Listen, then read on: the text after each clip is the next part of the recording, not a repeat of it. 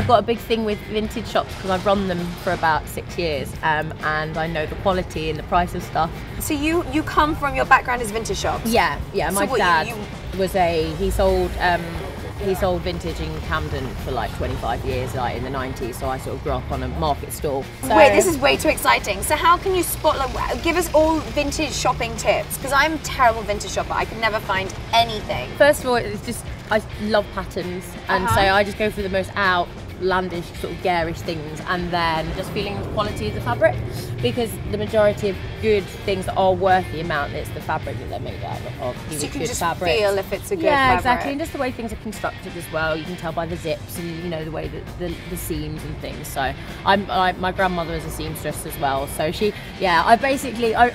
I've got no dentist in the family or anything. I'm fine if I need my teeth fixed. We're not but, like, doctors, Yeah, but I'm fine, we if, I- can- I'm fine if I want to like make a skirt. So So you can get all your vintage stuff and then tailor it yourself. Yeah. You'll tailor it yourself. Oh yeah, and the do you add things of stuff. to stuff. Well, this and, is like, cut. This had a higher neck yesterday. so worth doing a class in like seams. I wish that Oh, I'd God, done yeah. something. Just learn how to make your own stuff, and you'll realise how much it opens up the possibilities of what you wear. Because people will buy things and go, "Oh no, that's too big," or "That's too long." Whereas if you can take it home and fix it, then it's you know. it's- yeah, then exactly. Then you've got it, and you can Yeah. tailor it, and then you're the only one that's got it. Yeah, exactly. Isn't it? Yeah. You look amazing. Thank you so much for all the tips Thank and everything. You've been a star. See ya.